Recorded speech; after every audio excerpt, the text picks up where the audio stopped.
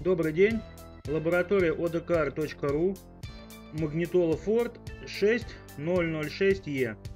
На этом видео мы покажем свою работу после раскодировки автомагнитолы данной серии. Итак, магнитола установлена на стенде, мы на нее подали 12 вольт и проверяем правильность полученного кода. Ну, на видео, я думаю, понятно, как это делается. Кнопками 1, 2, 3, 4 вводится код. В нашем случае это будет 4553. И кнопка 5 это подтверждение кода. Нажимаем удерживаем и магнитола включилась. В принципе все.